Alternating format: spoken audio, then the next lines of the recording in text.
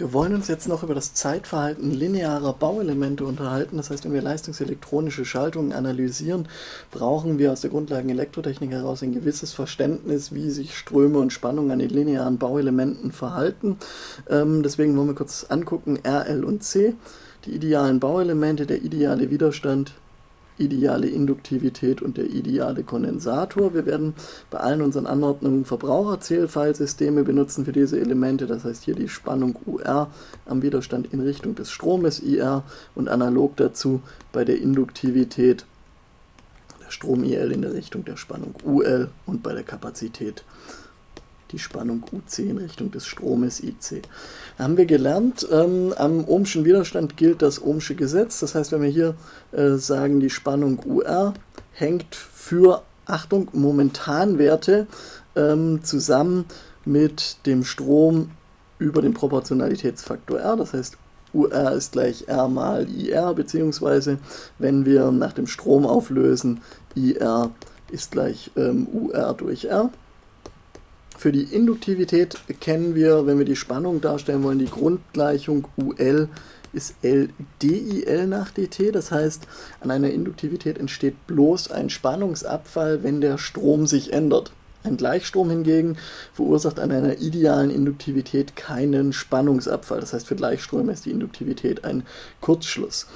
Ähm, das können wir jetzt auch auflösen, um sozusagen den Strom zu berechnen. Wenn wir das machen, kriegen wir raus IL von t, also das heißt der, der zeitabhängige Stromverlauf wird sein 1 durch L mal das Integral von einem Betrachtungszeitpunkt t0 bis zur Zeit t über UL von Tau d Tau plus einem Anfangswert ähm, IL von T0. Das heißt hier ähm, die Induktivität integriert, wie man sagt, die Spannungszeitfläche auf, ähm, wird aufmagnetisiert, wenn der Strom erhöht wird. Das heißt, wir müssen eine positive Spannung beispielsweise an die Induktivität anlegen, damit äh, mit der Zeit der Strom an dieser Stelle zunehmen kann.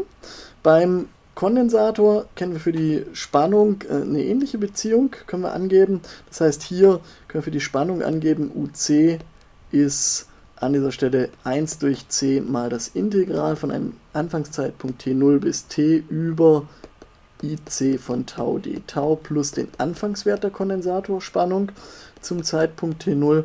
Ähm, das heißt, hier kann man sich vorstellen, der Kondensator sozusagen ähm, sammelt die Stromzeitfläche ein und die eine Stromzeitfläche entspricht einer Ladung und je größer die Ladung auf der, den Kondensatorplatten ist, desto größer wird auch die Spannung zwischen diesen Platten sein. Oder wenn wir äh, das jetzt auflösen, äh, nach dem Strom kriegen wir für den Kondensator IC ist C mal DUC nach DT. Das heißt, diese Beziehung sollte man im Kopf haben, wenn wir mit ähm, diesen linearen idealen Bauelementen arbeiten. In vielen Fällen werden wir ähm, Schaltungen ähm, modellieren mit diesen idealen Komponenten. Nicht-Idealitäten werden gegebenenfalls ergänzt, ähm, dass wir zum Beispiel eine reale Induktivität als Serienschaltung aus einem, einer Indu idealen Induktivität und einem Widerstand modellieren als erstes Modell, was auch noch sehr vereinfacht ist und so weiter. Ähm, jetzt wollen wir uns noch kurz über Leistung und ähm, Energie unterhalten. Beim Ohmschen Widerstand wissen wir, das ist ein Verbraucher elektrischer Leistung, das heißt die mittlere Leistung, wenn wir hier periodische Zeitverläufe haben, wird größer als 0 sein. Hingegen Induktivitäten, Spulen und Kondensatoren werden eine mittlere Leistung von 0 haben. Das heißt, die speichern Energie, werden aber keine Wirkleistung umsetzen.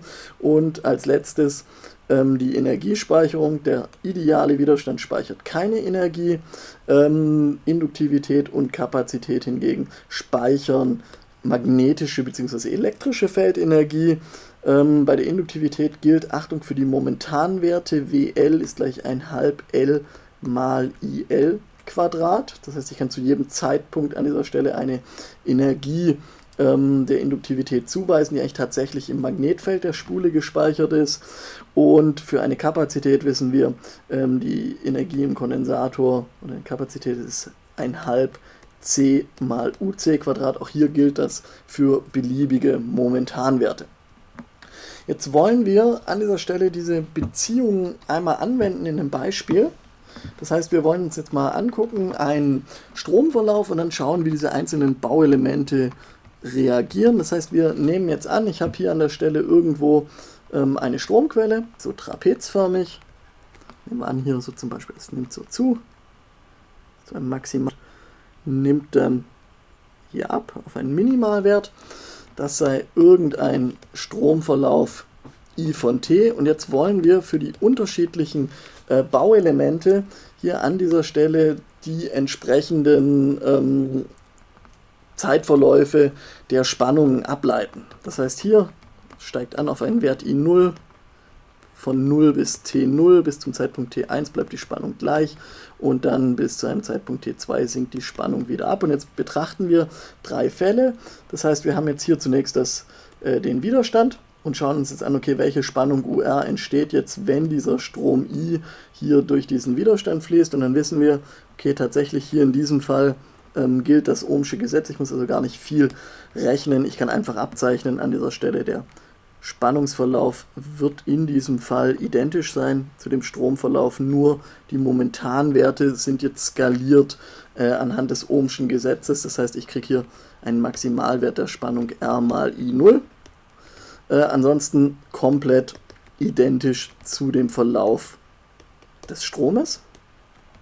Das ist also das Zeitverhalten an dieser Kapazität, äh, an diesem Widerstand.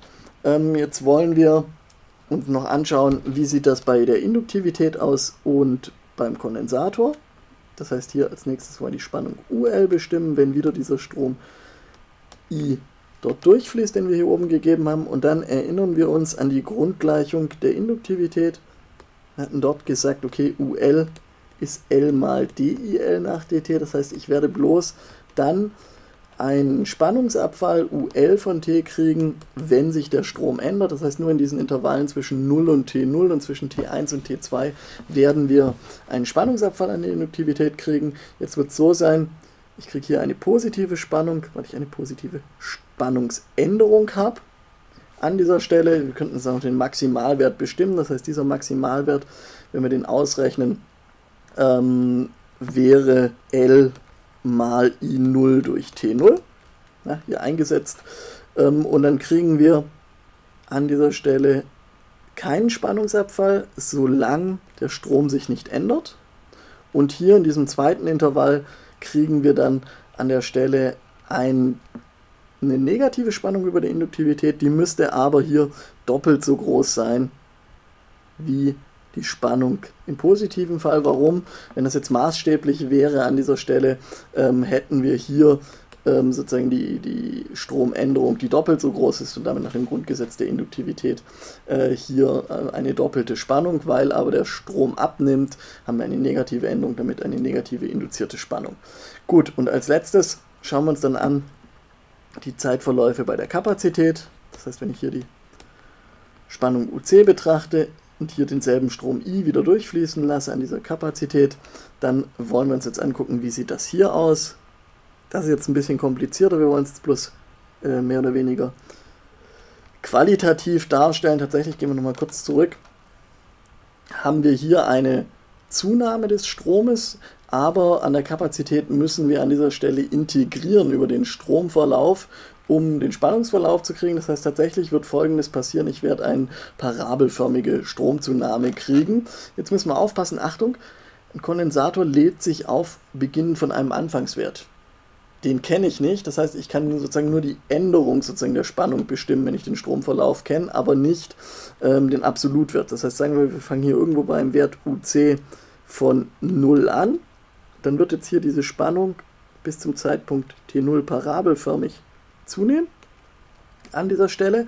Danach werden wir hier einen konstanten Abschnitt haben zwischen T0 und T1. Heißt, dass die Spannung am Kondensator linear zunimmt, wenn wir das integrieren. Oh, etwas zu weit, nimmt hier also linear zu. Und dann ab dem Zeitpunkt T1 werden wir an dieser Stelle ähm, noch eine weitere Zunahme der Spannung kriegen weil der Strom weiterhin positiv ist, also es fließt weiterhin positive Ladung auf den Kondensator drauf. Es wird wieder quadratisch sein und man könnte es jetzt ausrechnen, dass hier wird ähm, ein Verlauf sein, ähm, der auch wieder so eine Parabel irgendwo darstellt. Das hier wird irgendwie sein proportional minus t minus t1 Quadrat werden es darstellen. Das hier wird proportional sein ähm, zu t, eigentlich t minus t0 und das hier wird proportional sein zu t Quadrat. Und damit haben wir dann ganz grob die Spannungs- und Stromzeitverläufe für diese unterschiedlichen Elemente hier mal ermittelt. Ähm, tatsächlich ähm, sollten wir das im Kopf haben, wenn wir mit leistungselektronischen Schaltungen arbeiten. Noch eine ganz kurze Anmerkung. Ähm, in der Leistungselektronik betrachtet man hin und wieder Induktivitäten und Kapazitäten für kurzzeitige Ereignisse als Stromquellen oder als Spannungsquellen. Woran liegt das? Das liegt an diesen beiden Integralgleichungen. Wenn wir, ähm, also in diesen beiden Integralbeziehungen, wenn wir uns die angucken und sagen, die ähm, Zeitdauer Delta t, T0, äh, T minus T0 ist sehr klein, dann wird dieser erste Term vernachlässigbar sein und damit wird der Strom ähm, auf seinem konstanten Wert zum Anfang des Betrachtungszeitpunkts bleiben. Also entweder wenn die Zeitdauer sehr klein ist oder wenn der Induktivitätswert hier sehr groß ist. Und das gleiche natürlich für den Kondensator. Das heißt, in den Klammern werden wir sagen, entspricht das für kurze Zeiten, das heißt Delta t gegen 0 äh, an dieser Stelle, entspricht das einer Stromquelle und der Kondensator entspricht einer Spannungsquelle für Delta T gegen 0.